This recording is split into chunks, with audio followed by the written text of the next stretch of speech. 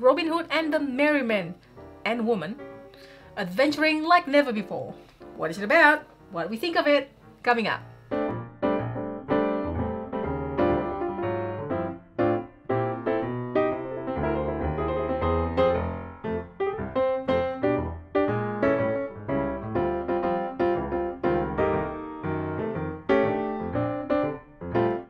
Hi, it's Tarrant. And Stella here from Meeple University. Welcome to our Should You Play, where we talk and discuss about games, what we think of it, and then also ask you what you think of it if you have played this game or anything similar. Today we have the adventures of Robin Hood.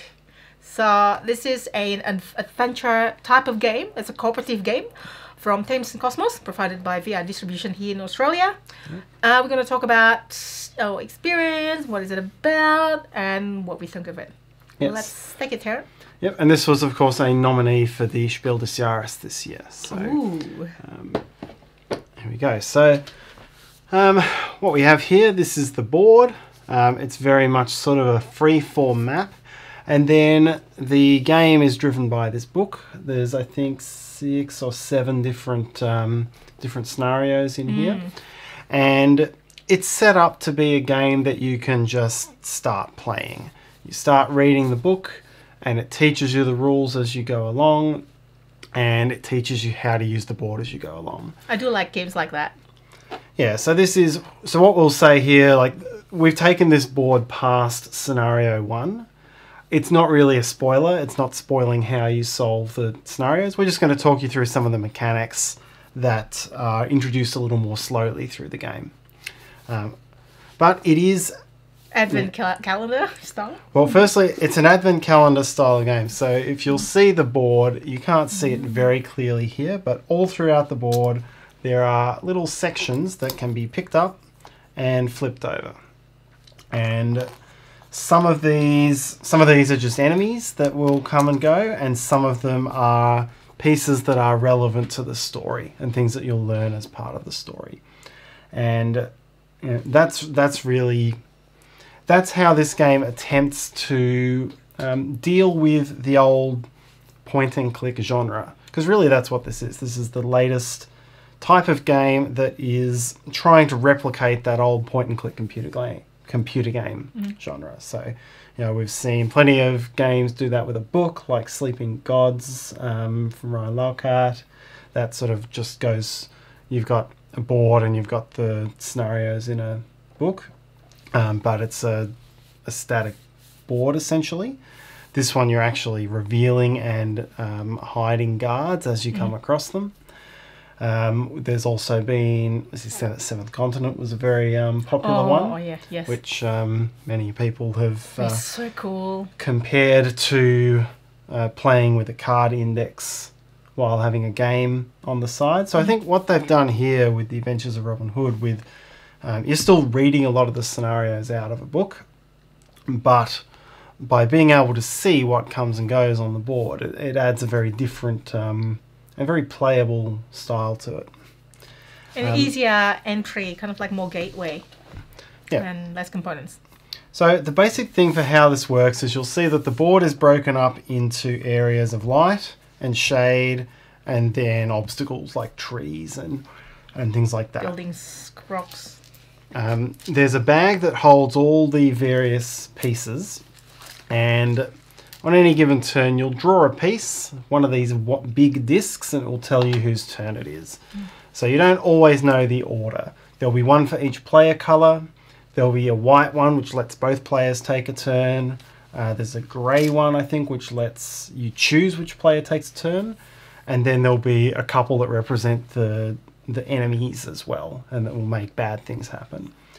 So you don't know what order those things are going to come out in, but you know you're going to get you know two or three actions per player for each round of bad actions that will come.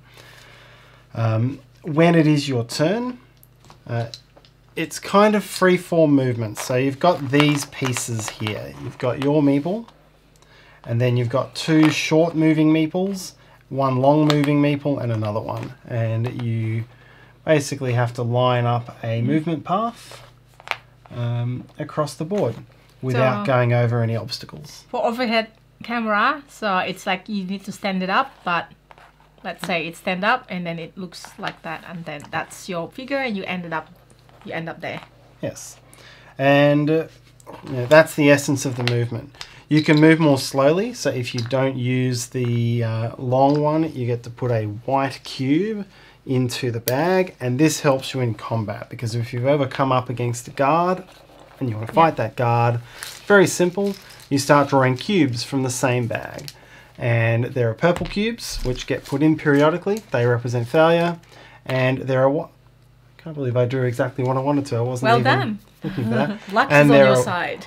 and there are white cubes. And so, very simple battle mechanic. You draw up to three cubes, and if you succeed, you get to uh, defeat the guard, and you would flip it back. Oops. you would flip it back over. You would get some hopes. So this goes up and down based on the good things you do versus bad things happening. There are nobles that you can defeat to also get uh, more hope and also get some objects, which will help you in different parts of the game. And then periodically you can see some coloured ones up here. These are also in the bag. You draw, uh, periodically the game will tell you to draw one of these, and that will uh, flip some more guards and some more nobles face up, or and face down yeah. and keep the board moving. So, you know, like a lot of these games that have a um, survival or an ongoing sort of mechanic, like with Seventh Continent, where you're, um, in addition to trying to solve the quest, you're also constantly trying to find food so you don't die. Yeah. Um, in this case, you're trying to solve a quest and you're also trying to make sure you're consistently defeating guards and nobles to keep your hope up on this track. And then, if too much time elapses or the hope comes down here, you'll run out of hourglasses and you'll lose. Um, so, yeah, six or seven scenarios. Uh, you can play each scenario twice, so there's even a thing here to tell you which version of the scenario you're on. If you fail the scenario, Yep, you can obviously you try this- again. If you fail a scenario, you can try again, and the book will lead you in a slightly different way. You're still going to the same conclusion, but it will um, let you experience that outcome and that um, completing that challenge in a different way. Um, and that's you know, that is the essence of the game. You can play at between two and four players. Um, there's there's other characters. I don't have them here. I've left them in the box. But there are other characters. There are evil characters that will come and get you. And there's a whole lot of pieces in the board. There's lots of pieces here. Oops. Yep. That you can flip over. Some have question marks. Some uh, some will flip back after the scenario is yep. done. Some's uh so it's question marks and then you can interact with the board when you are your figures there and then you open the book um that is matching that number that is Yes. on there. So there's this one like uh Someone to talk to. a maybe a Friar Tuck Yeah. person. Got a boat here. You can sail the boat from one side of the river to the other. That, that will cool. have different outcomes in different scenarios or that, maybe so- it doesn't say like this. Or they, the, the river does for like The river does go there, and that may not happen in every scenario. Who knows? Anyway, I think if I say too much more, I'll, I'll uh, reveal it. too many bits of it. But that is the game. Simple, simple mechanics, um, freeform sort of board, and a nice, clever mechanic with this advent calendar tile. And the age process. recommendation is 10 plus, so it is a family game. I, um, you know, I love point and click type of adventure game. Yep. I do like cooperative games. So if you don't like cooperative game, my, obviously, you know, you're probably not even watching this video. but if you like com- uh, computer game like click and point and click, which I actually really enjoy those games back in the days when I used to play a lot of PC games. What I was missing on those is that I can't play with someone else because I think most of those, if not all of them, are actually solo play of PC point and click game. Now this one, this one, is cooperative and is multiplayer. So it's kind of answer my request back in the day. I want to play point and click with mm-hmm. multiplayer.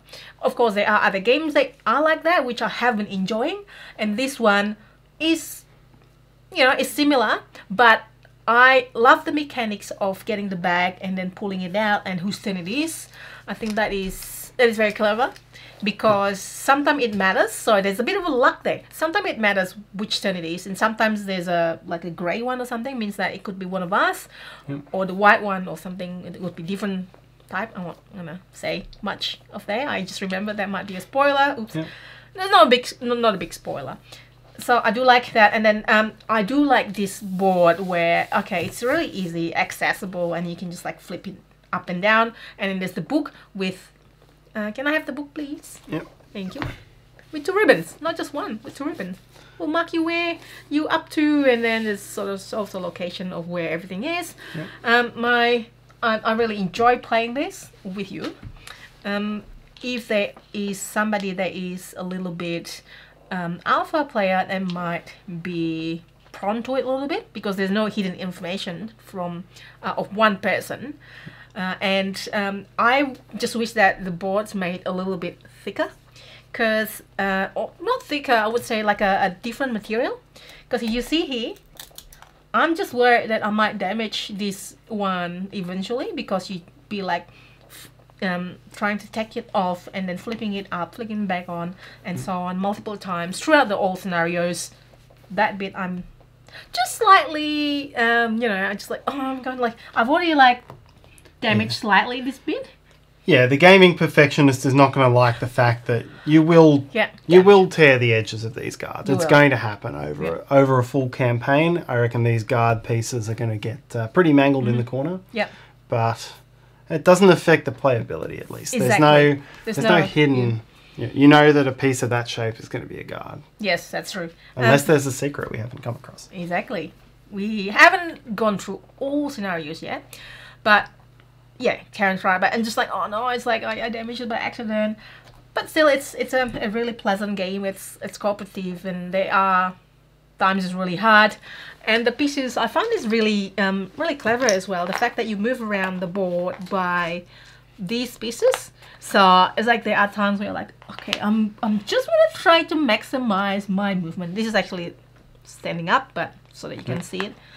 Uh, how do I get to that? Just using, you know, the littlest pieces like that, for example. Yeah, just touching this, and then I managed to go here. like that, for example. I think that's very um, there. It's very interesting, and families, I would imagine, families would like it. I think so, and I think you know it is a It's very clever. Like whatever Yeah. it is that, you know, whoever that comes with the idea of obviously Mr. Michael Menzel. Thank you. Yeah, I think um, so. For me, for me personally, you know, narrative co-op games where you're spending most of the time in the book, it's not my style of game. So you know, this will never appear at the t- at the top of fair any enough. of my lists. Yep. But for a game the way it's set up, it's this, it's a relatively simple uh, version of the game with a very clever way that they've set it up, and I think it forms a really good family night sort of game. Um, and if you do like, if you enjoy narrative, if you enjoy telling the stories and doing all that sort I do. of thing, it's going to work really Me, well me, for me, you. me, me. Yes. So that's really good. Um, I will warn. I think it, it's fair to warn people that the intro scenario is not. It doesn't give you a full representation of the game. If you Yes. only play the impro- intro scenario and think, well, that was that was easy, that was obvious, not much happened. The intro scenario is just teaching you a couple of mechanics. Yeah. Uh, it doesn't really pick up until the second scenario, so make sure you give it that second try. Yeah. What he said. Yep. So I like the uh, the fact that you started off captured. Like, ah, Tarrant's captured. Was it captured? Yes, You I were captured. I was little John, and I was captured by that guard. That's how you start. yeah, we can we can tell people that. I was like, oh no, I have to rescue my husband Tarrant, the little Tarrant, not little Tarrant. And some of these other pieces they come in through the later scenarios, Mm. um, and they yeah, it, it doesn't add that much complexity to the game. It just adds a richness of story. Richnesses, or yeah, I like this. Like, how, how cool this this book's looking. Look right, and then I do like the smell of new books, or paper in general. Sorry, I'm sure there are some of you out there that also like the smell of books. Do you? Like Yeah, it's Yeah, a it's, it's, a I don't know what what's something about it. It's like Kindle. It's like mm, I don't know. I don't really like Kindle that much, although I could use the space so I don't get the book, so I get board games instead of a book. But Yeah, I think um, I think it's well known that a lot of people have a, a smell reaction to the written word oh, really? What do you mean? What do you mean by that? because it, it it's more tactile. Oh, right. In addition to having the ta- the actual tactile, you've also got that other Mm. uh, sense. Yeah, I do like the look of chunky books, but yeah, this is like it's good. Like it's almost like um, also in a way some of the um, what is it called the adventure one, the choose your own adventure, but it's not. Oh, it actually tells you where to go rather than choose your own adventure. Well, you the choose your own adventure part is on the board where you where you want to go. Yep. Right. It's not an Very easy much. game as well at times. We lost before. We we did lose our scenario. We made a couple of um, critical choices that just we got very close, but we made we a couple of critical choices that drew us uh, dreadfully in the wrong direction. Yeah. So it's not Happens. like it's not that easy. Like as Tarrant said, the beginning scenario might be a little bit easy, but then wait, there's more. There are tricks. They'll trick you. Have you played this? Have you played anything similar? Have do you used to play point and click PC games? Let us know in the comments. So I will have a look. Um, just see that you know I, I do miss those games at times. Like the Max J. What is it called? The Sam and Max Journey or something? Bogus Journey? No, and then they, the rabbit or somebody, and then they go around and then look at like the giant um, pans or the giant cattle. I don't think it was cattle. The giant I don't recall that one. No? We, I know growing up we played the um, the first Discworld point and Oh, click yes. Yeah, game. yes. That's uh, well regarded for being very difficult and very obscure in places, but we got through it. Did your dad play with you? Yeah, we all sat around the computer and um, So, see, there's like a family like that sat around computer. I mean, this is, it's much better to, to sit around table facing each other, right? Yes, I mean, and that was a solo game, right? But you just it was. do yes. it yeah yeah see um and there's another one it's like the the monkey island one the curse of monkey island or something Mhm. is it called the curse of monkey island one two three four or something I don't remember that one. Um, we didn't have there's so many and there's also of course our king quest is different it's more adventure and then there's scrolling or It had some side scroll elements Side scrolls, yeah. to it, and you could die a lot. and you, there's no um, save button There was in King's Quest Six. That was oh the right, one we okay yeah. the early one I was like oh no there's no save button That was gaming in the day. well, exactly and You now got really good at the first levels. No, but then again, you know, I'm, I'm happy that the gaming has evolved and then they listen to people. Okay, there's a safe mechanics. Like even this one, oh, like you just leave it as it is for the next scenario, right? Yes, and that's that's right. There's a couple things you flip back, but ultimately you leave the guards and those pieces. I mean, this is the game as we left it, um, with a couple of spoilers hidden. But you just uh, break the board apart and um, and put it away as as it was. Mm, That's how very you pack up, Yeah, and that's it. which I'm doing now. So I assume that's it. You don't want That's to. it. That's say. That's it, folks. See you later. And yes, that's it. So let us know in the comments again um, if you have played, if you haven't, what do you think of it? And we do videos like this, the review, the how to play, the Stellation suite, and so on. So if you can, please hit that like button. We would be um, really appreciate that. We will really appreciate that. And um, hopefully you can join us next time. You can subscribe if you haven't already done so. There's a meeple somewhere in the corner as well. I'm also on in- Instagram, so find me there as well. And hopefully we will see you next time. Bye.